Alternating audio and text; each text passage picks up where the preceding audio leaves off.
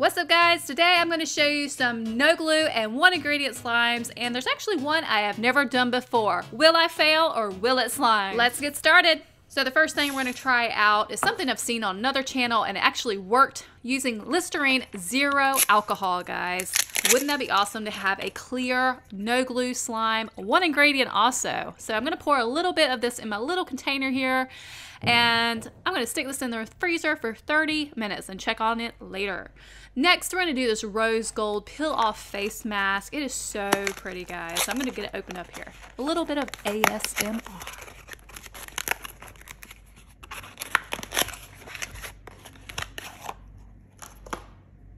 I love the rose gold color because it's just so pretty. It actually reminds me of fall. Fall colors, jewel tones, it's gorgeous.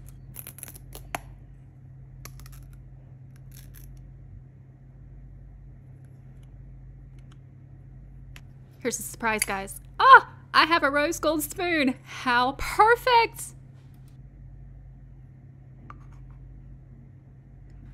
I don't know if you can tell on video, but this is pretty like slimy already. It's actually got a thicker consistency than the gold one I've done in the past. I think that was the last video. Yes, it was the last video. Uh, so it's almost like glue almost. Pretty amazing. I'm thinking this might make slime. We'll have to find out. Okay, ASMR.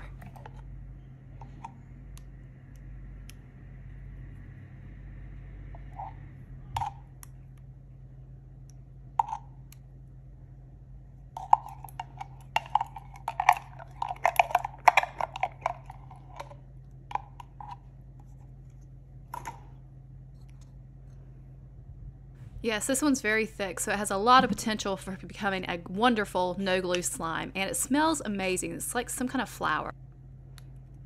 Next, it's time to activate, so I pour in my borax solution, which is one teaspoon borax to one cup of water.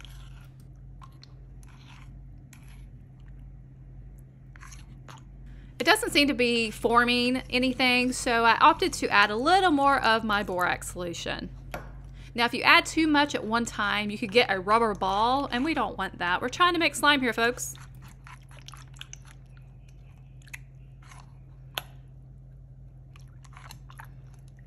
Finally, it's to the consistency that I'm looking for, and I'm thinking that I have made something here. Do we have slime?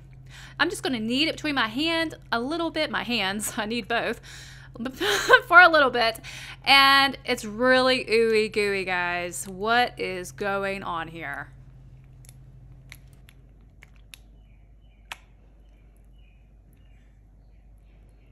So it did not form slime, but I'm gonna bring some baking soda into the mix because baking soda actually helps bring slimes together if they're too sticky. That's just a little tip for you if you've never heard of that. So I'm mixing this in and hopefully I will get a more fibrous, stretchy slime instead of this goo that I'm left with at the moment. Okay, so I was seriously getting kind of worried, but after some doing, after some kneading, it started coming together. Now it's really sticky right now, but look at this. It's perfect. It's got the perfect consistency. It's not too tough. And here we go, ASMR.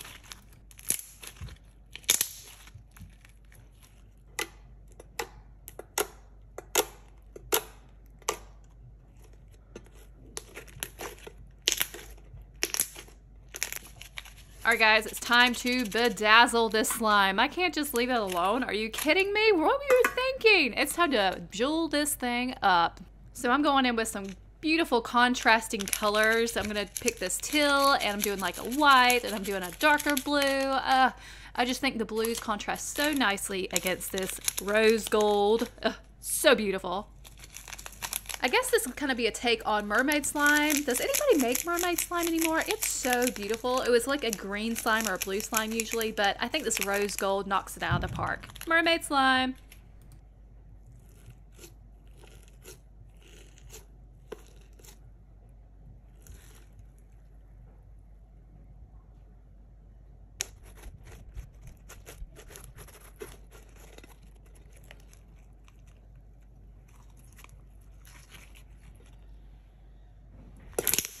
Hey guys, thanks for watching this video. Please subscribe and hit that notification bell so you never miss another Will It Slime video. All right, back to this video.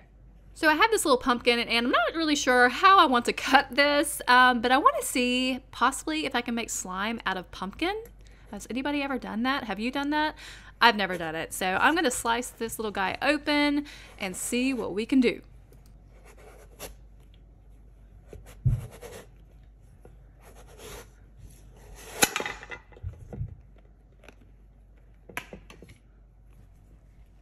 Was actually surprised when I got that cut. I was like, um, I thought there'd be a lot more seeds here. Um, it's a lot of flesh.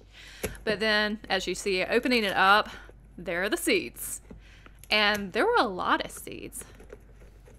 You know what else I was thinking? I'm gonna plant me some seeds. I'm gonna grow me a whole pumpkin patch. Have y'all ever grown a pumpkin patch?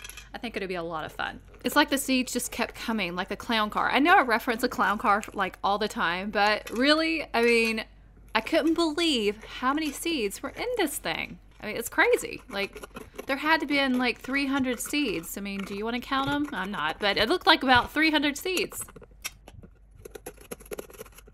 Once I was done seed hunting, I decided to cut some of the flesh around here because I want to gather that flesh. That flesh is, that sounds so weird. That flesh is what I'm going to use to possibly make some kind of slime.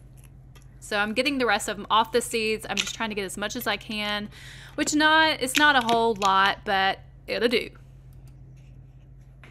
The next step in this process was to process this flesh and seeds and combine them as one. So this is my little processor, and I'm going to put it together real quick like.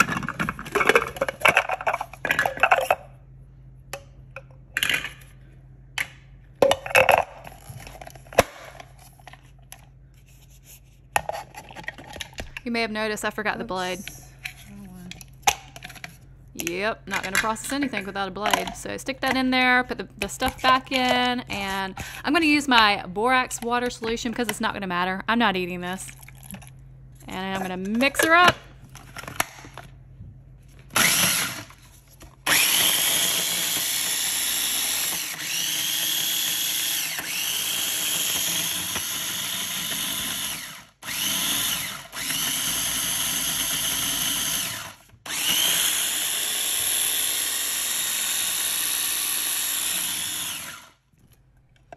Did anyone else find that oddly satisfying?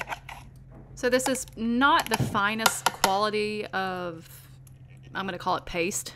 Uh, but I think it still will work. It's a little, I don't know, coarse. That's the word I'm looking for. Coarse. It's a little coarse, but I think we can still make something with this. It's kind of like some nasty looking soup that you don't ever want to eat, but sometimes you feel bad and you have to. So this is cornstarch. I'm going to add this to this porridge, uh, for lack of a better term. Whoops. All right, so I'm gonna add a little bit more and I'm gonna mix this porridge up. I'm finding it kind of amusing of myself that I called it paste, then I called it coarse, and now it's porridge. So what what what would you call this? Uh, only nice stuff, please. it's gross. So obviously this has made nothing so far. However, I'm gonna add in a little more cornstarch and see if I can bring it together.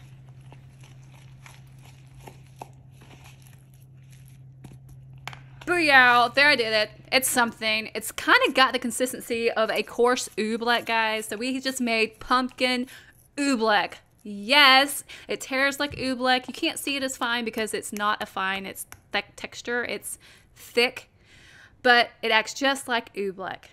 It is a non-Newtonian fluid, and actually it has a little bit of a slime quality in its stretch. Do you see the stretch right there? Pretty amazing. So we kind of made a slime oobleck cross hybrid, whatever you want to call it. But I'm super happy with it. Love this. And I love how it looks like a little prize or a present inside this pumpkin too. I decided to speed this part up because the flow took forever. But here's some ASMR.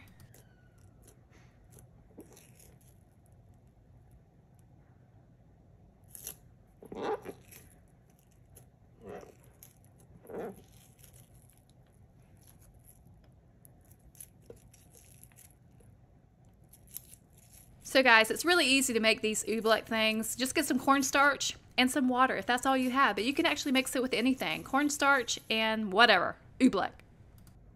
Time to check in on our Listerine. What do we got? Oh, it's liquidy. I don't know if you can see that, but there are like little ice chunks in there. It was in the freezer for 30 minutes. And it doesn't seem to have made slime. What do you think? I have ice. It's so weird because the video I watched, it was like this beautiful clear slime.